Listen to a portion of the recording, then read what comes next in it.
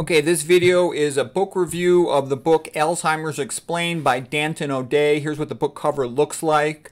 Uh, Danton O'Day is an Irish-English guy who is a professor in Canada, and his research focuses on calmodulin. Calmodulin is about 150 amino acid long protein inside the cytoplasm of neurons. It's highly conserved across multiple different animals, and that's what he believes is the best explanation for Alzheimer's.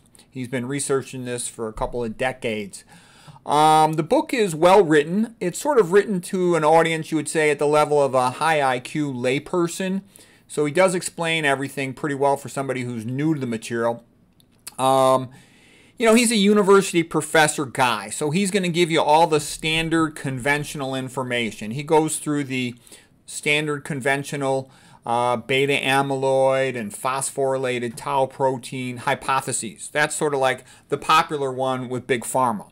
Okay, he then describes these, you know, sort of a playful pun. The, the beta amyloid protein is the Baptist theory, the tau protein, phosphorylated tau protein, is the Taoist theory. So some people say, what's the difference between the Baptist and the Taoist theory? It's kind of a joke.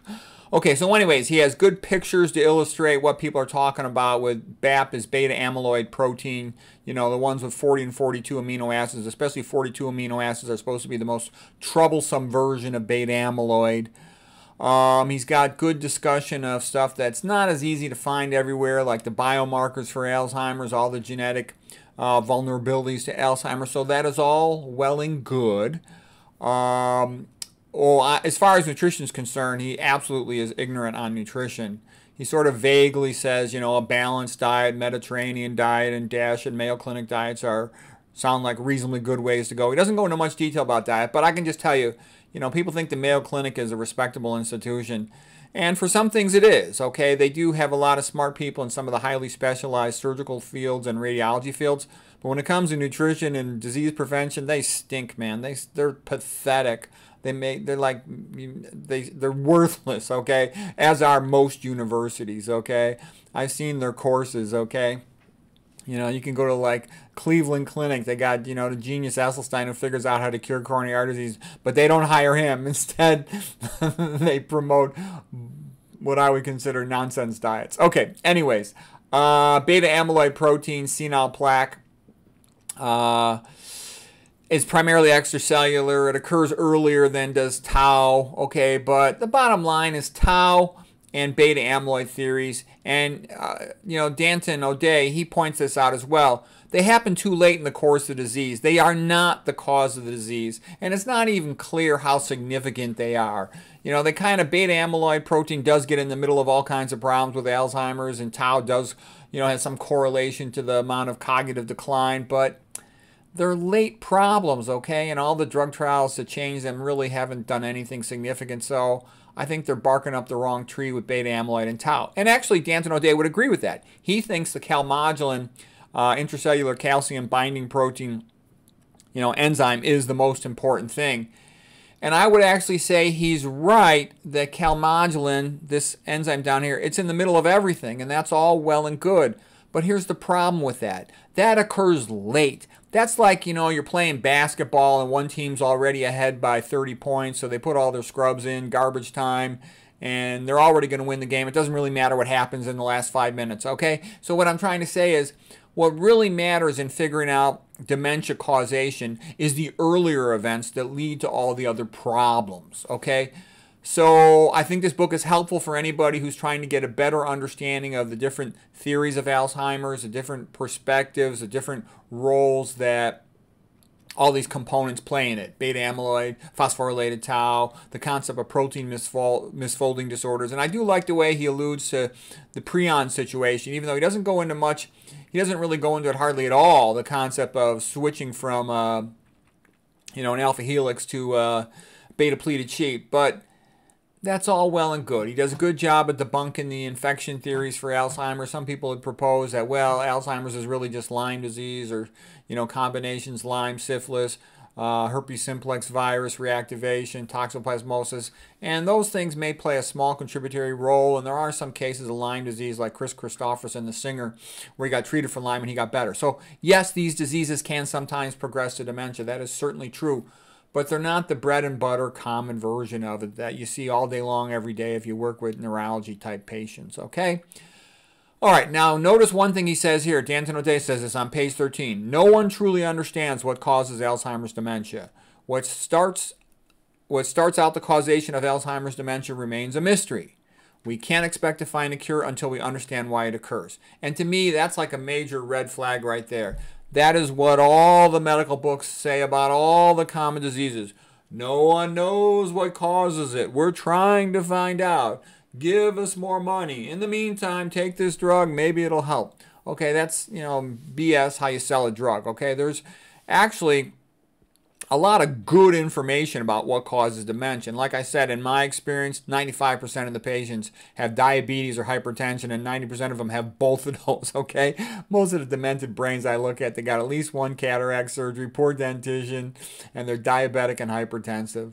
Uh, let's see what else. He mentions the cognitive reserve hypothesis. That's like came out of the Notre Dame nun study in Mankato, Minnesota, that the nuns that were more academic were less likely to develop Alzheimer's, even if they had a lot of beta amyloid plaques in their brains. Um, so basically, what that says is build up your intellect and study a lot and read a lot and have intellectual conversations and write if you can, and you'll be less likely to develop Alzheimer's because you've got so much cognitive reserve, meaning that even if you destroy a lot of intellectual neurons, you still got a whole bunch left compared to somebody who just sits around watching TV all day. Okay, fine. Um, let's see, what else? Um, he doesn't even mention Jack de la Torre's theory. I thought that was a major, major oversight. How could you not mention de la Torre's theory, which is the best one out of all of them? That is the most useful concept to get. Chronic cerebral hypoperfusion, the mouse equivalent theory, also called the vascular hypothesis of Alzheimer's. You know, I give him credit. He does talk about that, you know, hypertensive and diabetes contribute to it, but I think the de la Torre's theory is the best thing to lock into a person's mind, a mechanism of Alzheimer's causation. Okay, and I think the next best theory is my theory. And my theory is not published in the journal articles. It's only published in my books and on my videos. Because, you know, I work full time, and when I try to publish stuff in the journal articles, it takes so much time, and they reject everything practically I submit. So, Anyways, neurovascular uncoupling. What I like about my theory and why I think it's the second best one after de la Torre is it tells you exactly what to do. You know, de la Torre's theory tells you be careful, avoid hypertension, diabetes, congestive heart failure, and AFib. Okay, but de la Torre he doesn't know anything about nutrition or toxicology. Uh, whereas my unique position in this game is I know a lot about nutrition and toxicology and epidemiology, and I've educated myself on EMF. We'll talk about that in a moment. Um, so neurovascular uncoupling, it tells you to be a low-fat, low-sodium vegan, avoid MSG, all these stimulants because they're excitotoxins, traumatic brain injury, ischemia. EMF is also the equivalent of an excitotoxin. The leaky gut, so all these things, and it tells you exactly what to do. The mitochondrial inhibitors and SERCA inhibitors essentially end up having the same effect as excitotoxins. Therefore, you want to avoid all of them. All right, and like I said, the standard pre-med med school textbook will not give you any mitochondrial inhibitors, whereas I give you about 45 of them and tell you, you know, 30 of them are common. SERCA inhibitors, there's a whole bunch of those. Your food dyes, you know, anything that smells bad. Okay, um, so, you know, my goal is to help people, you know, to save their health and to teach them how to help themselves. What I see happening with a typical researcher, for a researcher, the goal most of the time, it seems to me, is to try to come up with a therapeutic drug because that way you can get more funding. But the problem is, as anybody who really knows a lot about medicine knows, drugs don't work. They almost never do. Very few drugs are really good for anything and worth taking at all. They're good when you replace something. You're missing thyroid hormone, fine, take thyroid hormone. You got Parkinson's and you're not able to compensate for it, you know, take the L-Dopa or the other drug, whatever. But, you know, this idea of always looking for a drug, makes them forget to look for other things, okay? And they don't even bother to learn nutrition, toxicology, epidemiology, and EMF, the typical PhD, and that's why they, they usually can't put things together. Now, this guy, Martin Pall, I think he's a genius. He did an incredible job of really going through all the literature with regard to these rare diseases like multiple chemical sensitivities, electrical hypersensitivity syndrome, PTSD, um, and he did a great job on tinnitus. tinnitus. What's unique about Martin Pall is he's both a physicist and sort of a, a, a, student of biology. So he's able to put things together and he knows the math. So he was great on EMF. He's the best guy out there on EMF. I mean, other people have written good books or good papers on it. You know, like Martin Blank's written good papers on the fractal antenna theory of DNA and why it gets uh, damaged by EMF. But Martin Pall is kind of awesome on that. I've recently reviewed his book uh, called Explaining Unexplained Illness. And he does go into quite a bit of detail about the no-oh-no theory of nitric oxide and peroxynitrite. And he also is great on the concept of digital dementia. So he's really good on all these things. You want to talk about a guy with sort of a narrow range of emotion. He seems like sort of a classic Asperger, okay? But I think Martin Pall is a heroic genius, okay, for what he did researching all this stuff in these rare diseases. But he's still, you know, kind of a narrow PhD in the sense that he doesn't know anything about nutrition. Um, he doesn't know toxicology, uh, but he does know EMF. He knows EMF better than anyone else, and that's a really important topic. Okay, Douglas Kell and Etheresia Pretori series. So I'd, get, I'd make this, because I'm going through these series. Number one, de la Torre. Number two, the Peter Rogers MD theory and neurovascular uncoupling for explaining dementia. Number three is the Martin Pall theory of the no-oh-no concept, nitric oxide peroxynitrite theory. The number four theory I would rank it is Douglas Etheresia Pretorius PhDs and their leaky gut dormant bacteria theory. Okay, and they also tie that in with psychological stress with the catecholamines, adrenaline, noradrenaline functioning as siderophores. Sidero meaning iron, 4 meaning the transfer, facilitating the transfer of iron to the dormant bacteria to reactivate them. So they release LPS, lipopolysaccharide, which causes amyloidogenic clotting of the blood. Um, the stress also increases fibrinogen, and you get breakdown of the blood-brain barrier, and you get uh, this abnormal clotting, the fibrinogen fibrin extending across the blood-brain barrier, uh, causing uh, you know more precipitation of beta amyloids, and um, that's very interesting. He does a good job explaining the prion mechanisms beta amyloid, and it's interesting how beta amyloid can do things like a prion. You know, one of them becoming insoluble, oligomers are becoming insoluble. It can start having effects on the plasma membrane of a neuron. It can create its own uh, calcium channel pore. It can increase the activity of like the store channels um, to get more calcium to go in the endoplasmic reticulum. It can cause increased permeability, increased activity of the NMDA receptor to let more calcium into the cell. Um, it especially activates the subtype of the NMDA receptors called the, when they have a subunit uh, called the NR2B, and that lets in lots and lots of calcium. Speaking of letting calcium into the cell, Martin Pall made the point that when you've got you know chronic uh, abnormal EMF, you can have chronic opening of your VGCCs, your voltage gated calcium channels, to let more calcium into the cell, and that can be open for a prolonged amount of time, thus having a lot, a lot, a lot of uh, calcium entry into the cell. So I thought he was great at pointing that out.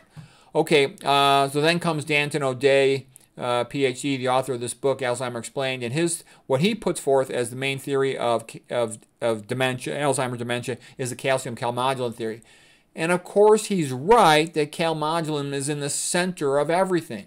He's absolutely right about that, and he does a nice job of showing that and making diagrams of that. I think that's all great.